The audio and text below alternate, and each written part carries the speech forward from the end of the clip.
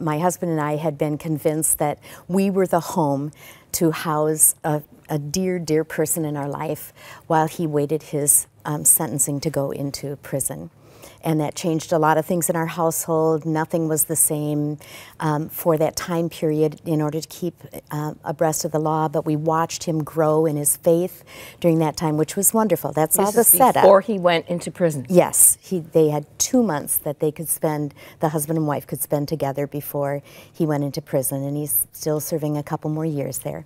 But during that time period, uh, when fall came, my husband is out bow hunting real often, and As I was in bow and arrow. Bow and arrow hunting mm -hmm. for deer, and we um, we were. I was preparing a lovely meal for when he came in from hunting. Usually it's a little bit later because they hunt almost till dark.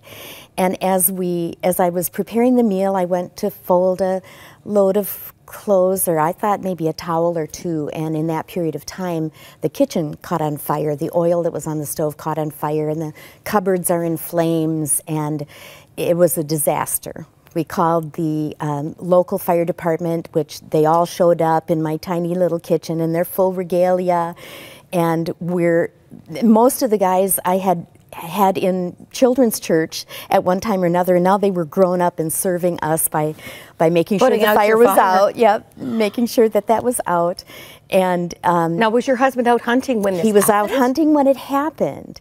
So we threw open all the windows to try to get some of the smoke out, because smoke and soot and the the dust from the fire extinguisher went everywhere in our old farmhouse, two-story farmhouse. So the fire department assured us it was fine. They asked, Do you want me to take the stove outside? Because you're not going to be using it anymore because it had melted among with, along with a lot of other things.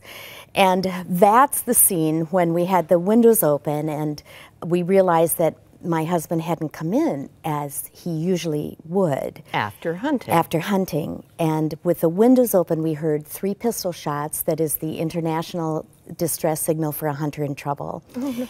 Which I knew because we watch all those shows on television. And um, so we, there was such a concern for him. Eventually, we had to call the fire department back then an hour after they were there for the house, the kitchen fire, to come back and rescue my husband, who'd fallen out of his tree stand and broke his back and his femur and was in such miserable shape. So that's just the beginning. To tell the whole story takes 40 PowerPoint slides. Oh, but the yeah. house was a wreck. We were going through remediation with that. He was in the hospital. He had surgery, came home from the hospital, and there was only one room that had been cleaned up enough for him to stay in while he recuperated. I had book deadlines uh, two weeks after he got home from the hospital, I got this horrible pain in my back that I didn't know what it was.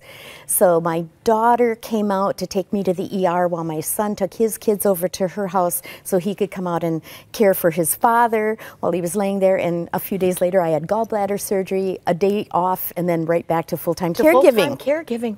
And that wasn't and even the end. you still have the house guest who's getting ready to go to prison. That's true. Like that sounds like a novel or a soap Doesn't or something. it? Except no editor would believe it, and it went on and on and on, and identity theft remediation at the same time, and just it. It was one of those Job moments that sometimes we get, where while one messenger is speaking, here comes yet another. We could find reason to celebrate. When did that happen? Did I write that? yeah, but first you said, first you said my heart was losing its grip mm -hmm. on the difference Christmas can make. True. How did you wrestle with why, first of all? There'd be a little why coming out of this, wouldn't there? Some of it we knew was just circumstantial. Some of it, some of it we look back now and say we can see God's hand in it all over it, but there was an awful lot of the the process of it that was just plain hard, like a lot of people find as they're approaching Christmas. They're missing someone who's no longer at going to be at the table, or they're they're dealing with financial crises, or any number of things, a, a diagnosis that's really tough, but but in the middle of all of that process, we found that if we kept watching for the humor in some of this disaster upon disaster upon disaster, and as we kept leaning into the Lord because He was the only trustworthy person to lean on, and as we just did one thing after another and watched Him restore life again to the house, to the kitchen, to Bill's body, to my body, and our relationship grew, could grow in the middle of that, not because that's natural, but because that's that's what it's like when we just lay it before the Lord and say, We cannot do this, but we know that you can. We had grandchildren that came in and put up a Christmas tree for us. They bought the tree and decorated it all for us, and uh, others who ministered to us in really sweet ways. So the human factor was big too. It's neat that Bill is here today. Right.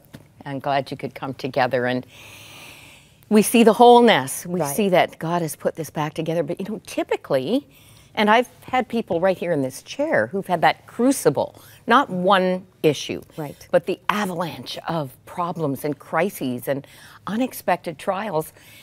Most say they lost their faith in the midst of that. Sometimes that's a temporary human emotion that we go through because we can't imagine how God would allow such a thing to happen, and especially all at once. Or um, we've been watching, even within my own circle of acquaintances in these last days, there are people who, there's a woman who wasn't able to serve with Operation Christmas Child this year, where they box up the boxes to send to the needy children. And it had been a tradition for years and years and years with her family, but she had a chemo appointment that day and had to forego that tradition in their family. There are others who have. Uh, had a family member who's passed on to glory right now between Thanksgiving and Christmas, and that additional heartache that comes with that. Everybody's got something, as they say. You have a great phrase. Because of Jesus, I can say, I can't unravel. I'm, hemmed, in, in hope. That's right. It's beautiful. That's right. And sometimes we have to be, um, no matter how strong our faith is, we have to be reminded of that. That He, Jesus came because of situations like that, because we cannot function without Him, because we need someone to lean on, and because we need a Savior.